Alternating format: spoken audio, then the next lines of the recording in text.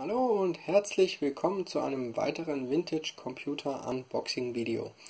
Heute zeige ich euch ein wahnsinnig riesiges, schweres Paket. Es sind eigentlich zwei Pakete zu einem geschnürt. Ähm, dann haben wir da in diesem, sagt man, in diesem Karton und Tüte haben wir ein bisschen äh, tolle Sachen, die mir die Tage übergeben wurden diese untere Kiste mit einem speziellen interessanten Computer von einem Vereinskollegen und die obere Tüte habe ich äh, mit Inhalt von einem äh, Bekannten bekommen und noch ein kleiner interessanter Brief passend zu meinem äh, Commodore SX64. Da habe ich ja schon mal was erwähnt zu. Ja, da würde ich sagen, ohne große Umschweife legen wir mal los. Ich würde sagen, trennen wir doch erstmal das riesige Paket von, voneinander. Ja, und schauen mal, was da drin ist. Ich bin mir auch nicht ganz sicher. Ich habe nur eine leichte Vorahnung. Es ist eine Sammlungsspende, die ich freundlicherweise erhalten habe. Und ja, schauen wir einfach mal rein. Also 31,5 Kilo steht drauf und da kommen wir auch fast hin. Super, dann legen wir doch mal los. Dann machen wir das mal so und packen erstmal die Kleinigkeiten hier rüber. So. Und versuchen wir doch mal das Paket zu trennen. Ähm, ja, hier war das. Ich mache das Auspacken ein bisschen einfacher.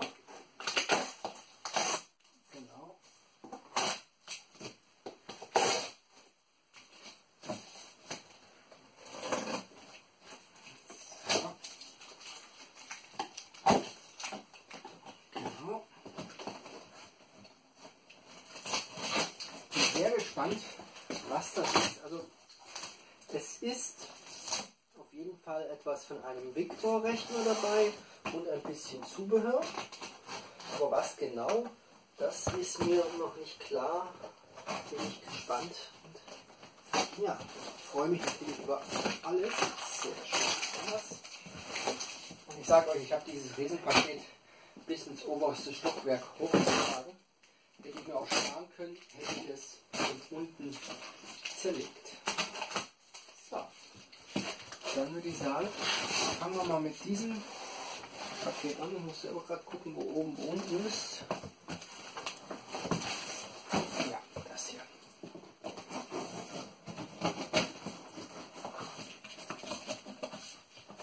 Sehr schön verpackt.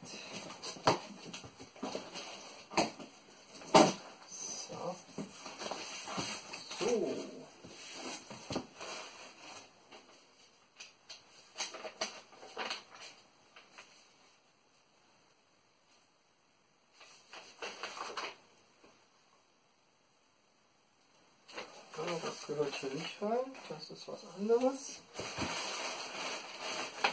Ja, was haben wir da? So. Und so. Sieht man das dann besser. So. Ja, auf jeden Fall einiges an Papier drin. Das ist schon mal gut. Ich kann das immer gebrauchen. Auch zum selber schicken. Ah, mir nach einem Monitor aus. Mal gucken, wie wir den rausbekommen.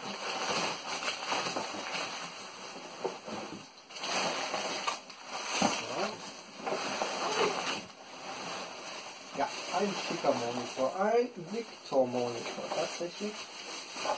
Schön. Schön, schön, schön, schön. Tada! Oh, das sieht doch richtig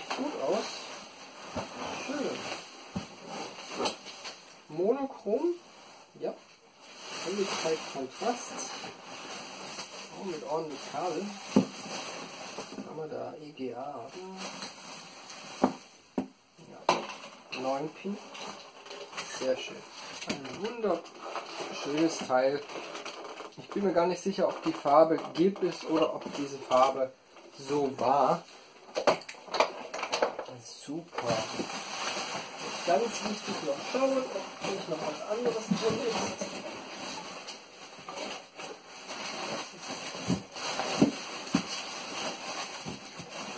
Oh ja, hier ist noch was Schweres. Oh. Nochmal ein extra Päckchen, okay. So. Aber sonst ist leer. Sehr schön. Cool. Ja, ich freue mich ja immer. Pakete auspacken ist was Schönes. Weil nur so tolle Sachen bei rauskommen. Sehr toll. Zack, zack. Ding, darüber. So, jetzt haben wir als nächstes, aber was haben wir hier noch drin? Schauen wir mal rein. Uh, Floppy. Floppy Disks. Hey. Oh, cool. Oh, cool. Oh. Multitronic. Mir unbekannte Marke. Microsoft C Quick C Buch. Virisoft, Virisoft. Ah, Disketten, ich liebe es. Man kann nie genug davon haben. Und auch Original Victor Diskette. Wow, eine ganze, ganze Packung voll Disketten. Eine ganze Kiste voll. Schön. Schön, schön. Ah, Oh! Eine Festplatte. Eine MFM Festplatte. Toll. MFM erkennt man hier an den Ah, mit Stepper sogar. Wow, das ist ja cool. So eine kleine MFM mit Stepper. Was haben wir denn da? Verschiedene Möglichkeiten. Ah, Kyocera. Modell KC20B. Da haben wir das. Ich weiß nicht, ob man das erkennen kann. Cool. Stepper noch dran. Das ist noch richtig gute Festplatten. Toll. Sehr interessant. Sehr interessant ist wiederum herauszufinden, was haben wir da noch eventuell an Daten drauf. Sieht gut aus, sieht sehr gut aus. Sehr schön. Bisschen unpraktisch, wenn es auf Disketten liegt, aber Schlimmeres. Und hier, ah toll, Original Victor Disketten. Na, nicht eingeschweißt, aber mit Folie. Victor MS-DOS 3.3 Coole Sache. Toll. Frage ist, welche Sprache das ist. Könnte jetzt Englisch sein. Wohl Victor Technologies GmbH, naja. Könnte natürlich auch Deutsch sein. Aber cool. Ah, schön, schön, schön. Na, Software ist immer schön. Spiele natürlich auch, aber. Uh, das ist noch Floppy-Laufwerk. Also eine ganze Kiste voll.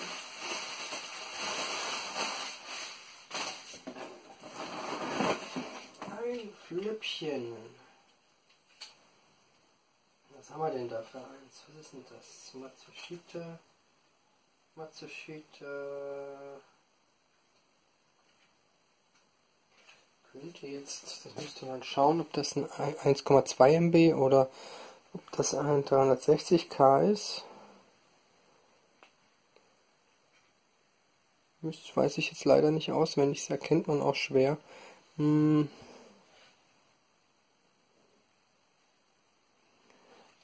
Ist egal, das ist ein tolles, ein tolles Laufwerk. Schön, schön, schön. Vielleicht, wenn es jemand erkennt, hier haben wir die Bezeichnung. Toll.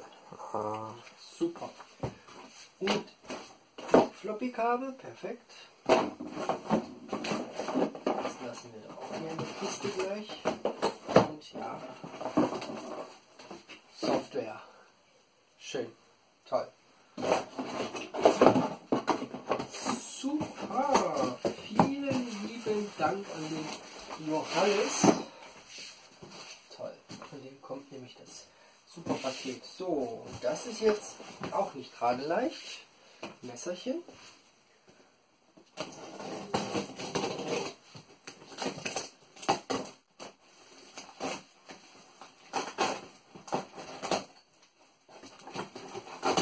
Gucken wir doch mal. Das kann ja nur besser werden. Hat habe so eine Ahnung, wenn da ein Victor Monitor dabei ist, Victor Disketten, dass das der komplette Victor Rechner ist. Hört sich zumindest ja, ja, das ist ein Victor Rechner. Uh. Uh. Schön.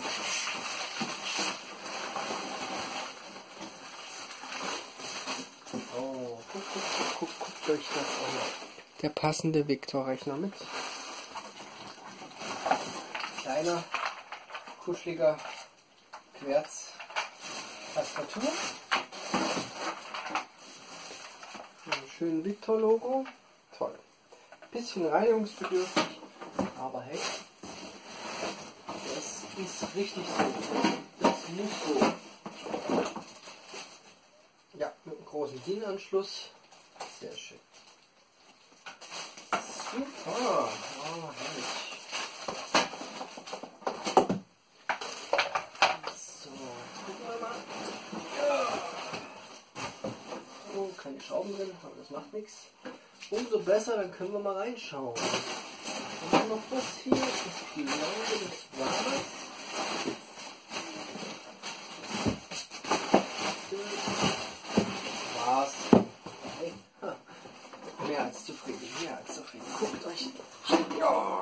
Technik. Schöne gelbe Farbe. Toll. Oh, was haben wir denn da?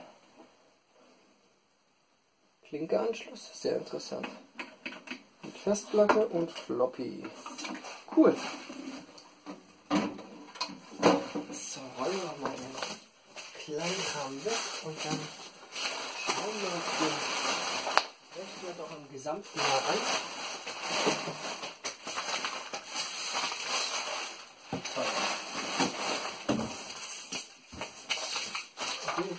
wieder genügend Verpackungsmaterial.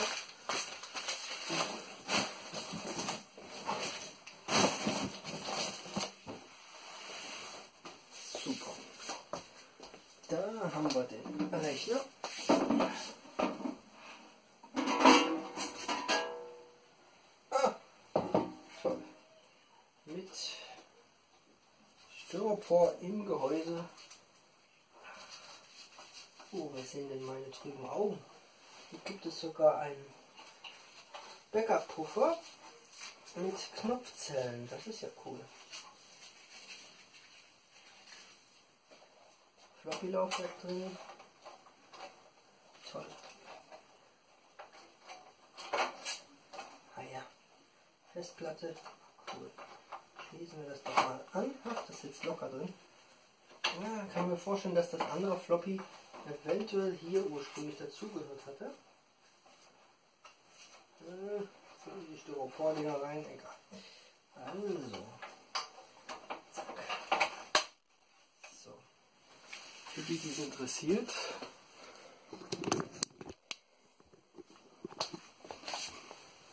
So sieht der Rechner von innen aus. Hier haben wir den Floppy. Ne, Quatsch, das ist der Festplattencontroller hier. 8-Bit, schön. Und das Floppy geht direkt aufs Mainboard. Haben wir den RAM an Bord. Ich tippe mal 640k. Hier haben wir das Backup-System, sehr interessant. Geht direkt hinten an, na wo ist es denn? Da, an den Anschluss. Eigentlich nicht viel anders als moderner Rechner. Hier haben wir Floppy, darunter haben wir die MFM-Platte. Diese. Was haben wir denn für Anschlüsse überhaupt? Strom mit Monitoranschluss. Hier haben wir einen Umschalter für Clock.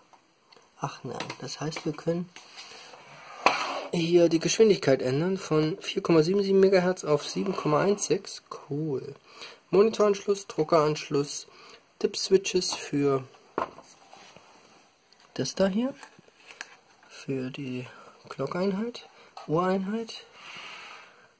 Schön. 1987 sagt der ROM. Baustein der auch.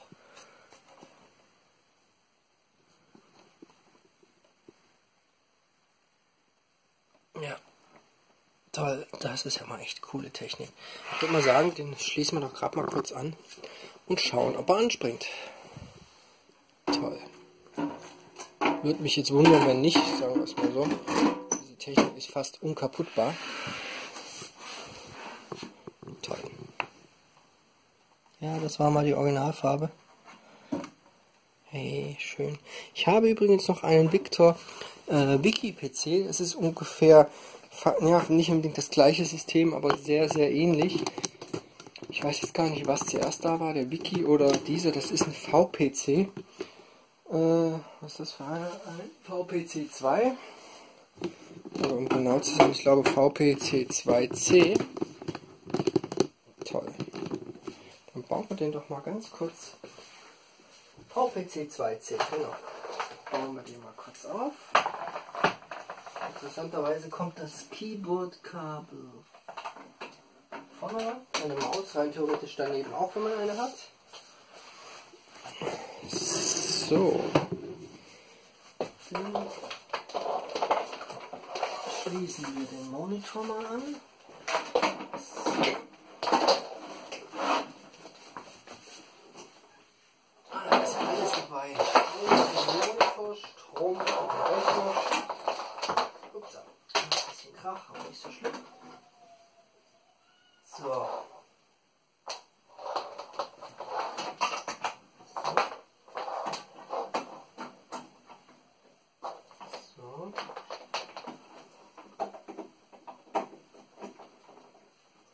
und den Monitor hier. Und jetzt bin ich mal gespannt, ob die Kiste sich einschalten lässt, ohne dass uns was um die Ohren fliegt.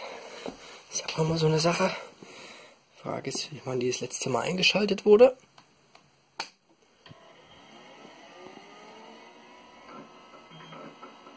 Hm, das hört sich doch ganz gut an. Und da kommt auch was. Hey, toll. Oh, schon 380, 400, 640 wäre schon cool. Ja, 640 bleibt auch. Sehr toll. Jetzt ist die Frage, geht's weiter oder nicht? Eine Festplatte gefunden, ein paar Error Codes, Disk Boot Failure. Gut, das ist nicht so schlimm. macht nichts. Er versucht darauf zuzugreifen, wahrscheinlich ist die Festplatte gelöscht oder man muss äh, entsprechend anpassen. Aber das heißt, die Kiste läuft. Toll! Und er reagiert auch hier auf. Genau, Eingaben, toll. Und der tolle Sound. Herrlich. Schöner, schöner Rechner. Cool, der kommt neben den Victor Wiki. Haben die sich zu, was zu unterhalten. Ha, sehr schön. Ich würde sagen, das ist schon mal super toll. Machen wir mal damit weiter. Das ist nämlich auch nicht schlecht. Wow. Vielen herzlichen Dank. Super. Super, super, super.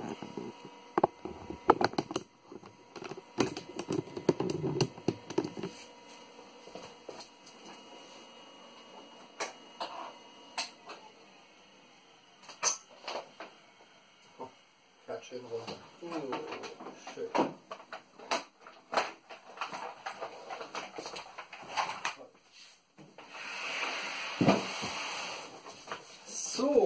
jetzt kommen wir noch dazu, nachdem wir das Hemd in die Hose gestopft haben. So.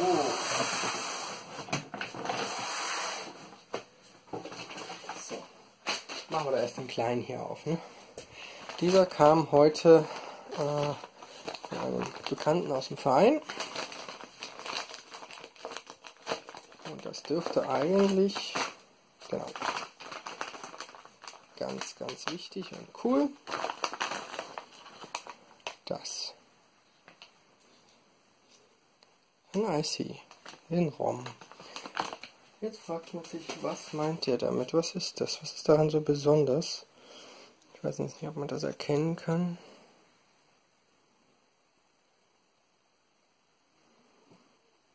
Fünfundzwanzig elf null vier Bindestrich vier Kernel SX64. Toll. Mehr dazu in einem extra Video. Das ist nämlich was ganz Wichtiges und Besonderes für meinen SX64, der leider nur mit einem C64 Kernel läuft. Warum auch immer. Und jetzt bekommt er hier wieder einen passenden. Das in einem extra Video. Toll. Vielen herzlichen Dank dafür an Christian. Und jetzt kommen wir zu diesem Kladderadatsch. Fangen wir doch erstmal an. Ist nur ein kleiner Ausschnitt von den Sachen, aber eigentlich die, mit die coolsten.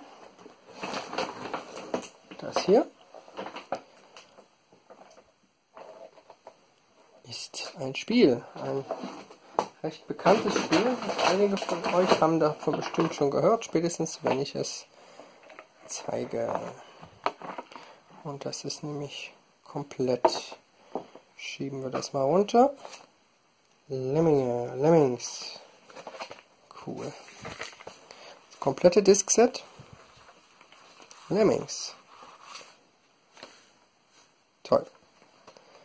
Muss ich nochmal eine Kiste finden, mit der wir das zum Laufen kriegen. Und das ist einmal HD, IBM PC, High Density, Magic Pockets kenne ich jetzt nicht. Auf jeden Fall auch Spiele. Ähm, was genau, muss man mal schauen. Aber Lemmings ist natürlich super geil. Von 1991. Super, super toll. Wer es nicht kennt, haut's mal in YouTube rein. Ist ein lustiges Spiel.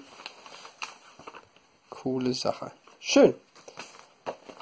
Da habe ich mich auf jeden Fall sehr gefreut. Eine kleine Big Box, eine halbe Big Box. Sehr schön. cool, sehr interessant. Eine kleine Festplatte. Auf den ersten Blick ganz unscheinbar. Genau. Das ist Harddisk Typ C. 1740 Megabyte. Stammt aus einem alten Tandon-Rechner. Sieht eigentlich verdammt gut aus, in super Zustand. Muss ich mal schauen. Ich habe keinen Tandem-Rechner, aber ich habe andere Rechner, die damit eventuell auch klarkommen könnten. IDE ist da weitaus unempfindlicher als MFM, wenn es um fremde Controller geht. Cool. So, was haben wir denn noch?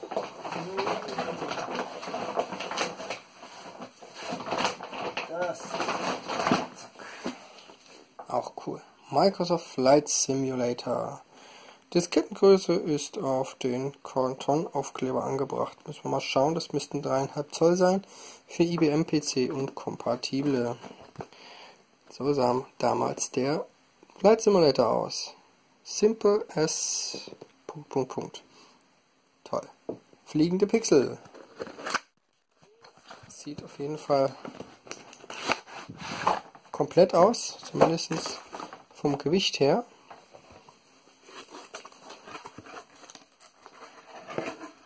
Ja, sieht, sieht komplett aus.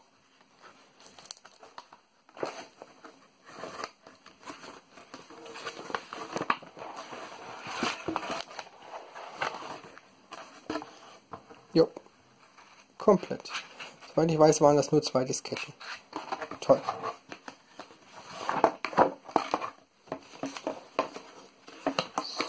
Super.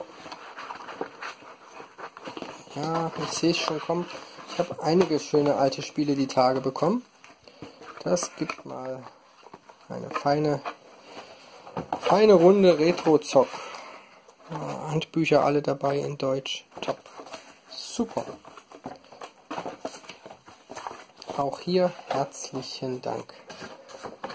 Toll, toll, toll. So. Packen wir gleich wieder schön ein.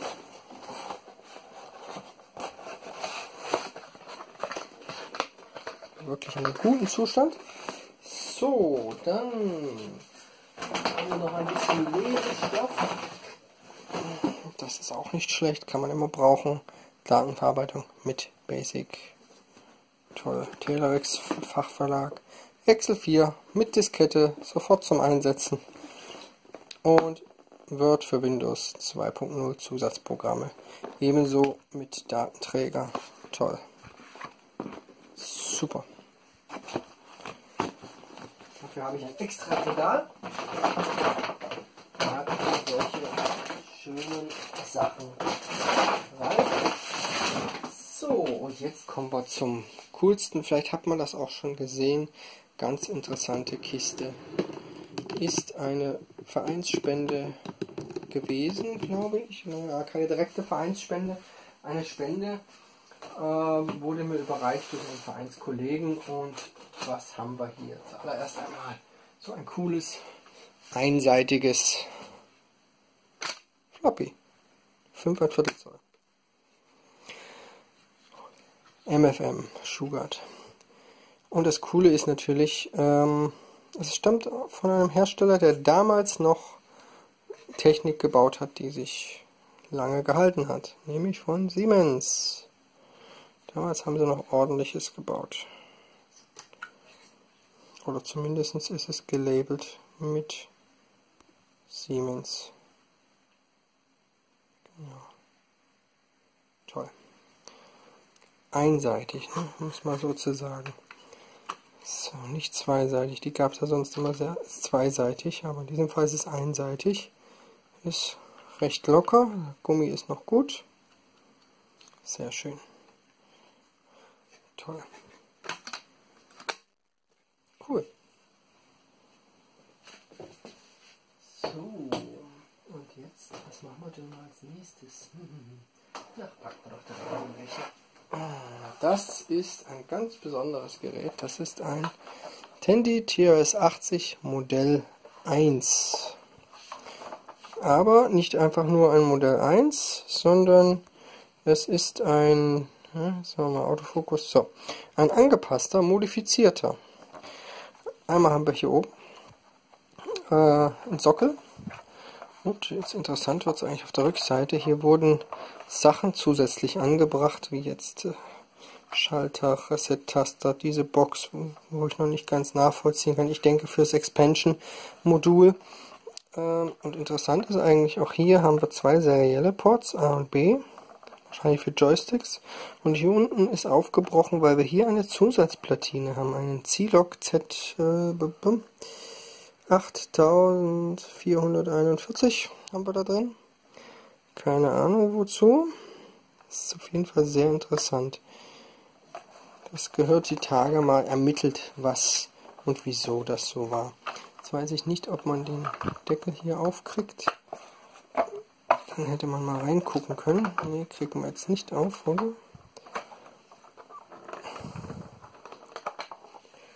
Moment, da ging nämlich auf, noch vor kurzem. Genau. So. Das ist nämlich nur gesteckt hier alles. Mal gucken. Ja, jetzt. So. Ja, das ist jetzt von innen und hier ist der andere Teil der Platine. Ein sehr interessanter Eigenbau. Bin mal sehr gespannt, was dabei rauskommt, wenn das System mal angeschlossen ist. Ich habe noch kein Netzteil dafür. Ich muss mal schauen, entweder mache ich mir eins oder ich besorge mir ein entsprechend passendes. Genau. Auf jeden Fall eine coole Kiste. Coole Sache dachte ich mir, das gehört äh, zur Erhaltung dazu. Ich habe auch irgendwo oben noch bei mir äh, TRS-1 Teile, sogar eventuell Modulteile, lassen sich garantiert miteinander verknüpfen. Auf jeden Fall cooles Teil. Dazu bei Gelegenheit auch mehr. Ja, und dazu gab es, wie immer, ganz cool, ein Haufen Literatur. Richtig toll. Also mit Preisen und allem drum und dran. Ich überfliege das jetzt nur mal, weil da auch eben Daten drauf sind. Hier sind Preislisten, handschriftliche Notizen, Anleitungen und solche Sachen. Richtig toll. Das liebe ich einfach. Solche Originalitäten. So. Hier Ausdrucke Abschriften zum Abtippen. Programme. Toll. Also gerade jetzt hier, mal gucken, hier Code zum Abtippen, Zeilen, Programme zum Abtippen. Total cool. Also es macht Spaß sowas. So hat man früher gearbeitet. Ja. Was haben wir noch?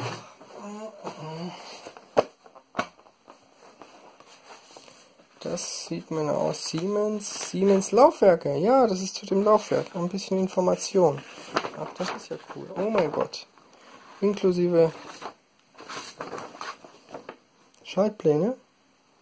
Schematik. Das ist das Schematik zu dem Laufwerk. Ja. So. Das ist ja toll. Yay. Das ist echt selten, sowas. Das ist cool. Wow. Toll. Und ich dachte, die Bücher hier wären schon cool, aber das ist ja alles total cool. Hier haben wir das TRS-80 Microcomputer Technical Reference Handbook. Toll. Englisch, aber das macht nichts. Auch ganz interessant mit wichtigen technischen Details. Aber praktisch, dann kann man auch nachvollziehen, was ist, ah, die Hauptplatine, was ist original und was nicht. Schön. Schön, schön. Dazu Bedienungsanleitung zum äh, TS80 in Deutsch, Level 1. Super. Ah, herrlich. Wahrscheinlich auch mit, so. Mit vielen Programmen, die man wieder nachschreiben kann. Aber auf jeden Fall schöne Grundanleitung und dann auf Deutsch. Ja, sehr einfach gehalten. Genau, Programmchen dabei. Ach, herrlich. Und das riecht so schön. Ich liebe diesen alten Muff von den intelligenten Büchern. Dann haben wir hier noch der First Book of ATS, TRS-80 User Journal. Super toll. Ach, komm.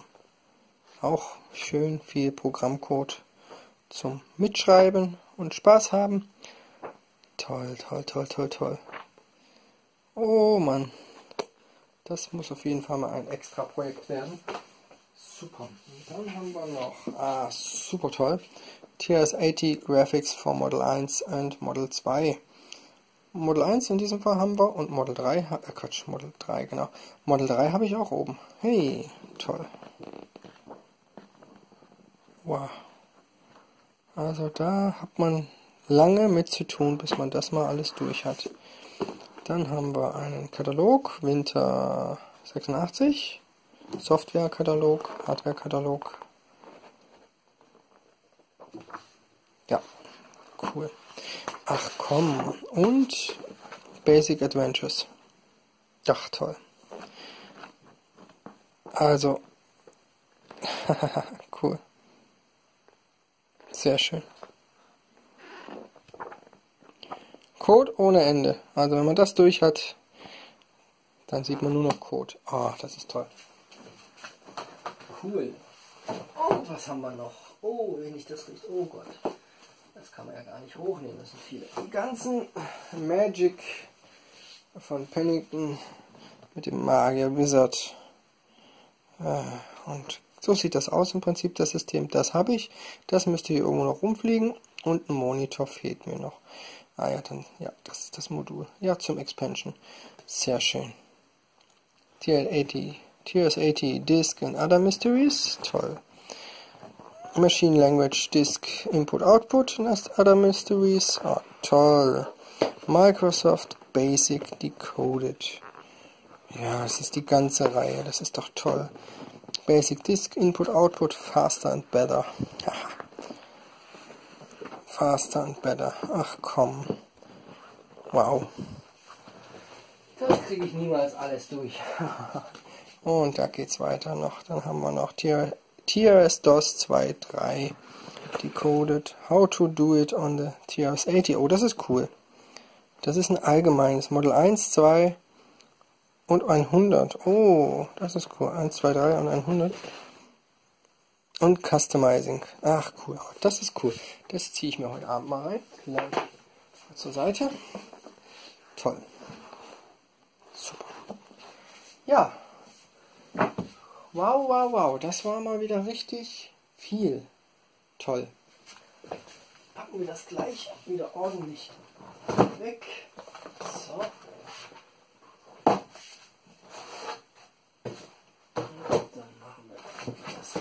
hier. So. Und dann machen wir das so. Und das so. Ja, dann würde ich sagen, das war's. Das war jetzt auch lang genug. Wieder über eine halbe Stunde, glaube ich. Coole Sache. Dann sieht man sich zu einem weiteren Video bald. Höchstwahrscheinlich zum Commodore 64. Eben wegen diesem kleinen knuffigen Chipchen hier. Und wie schon mal erwähnt, demnächst ein sehr interessantes Video ähm, zur Apple Lisa und Apple Profile. Das folgt aber die Tage. Werdet ihr schon sehen, ob ihr wollt oder nicht. Also bis bald. Tschüss.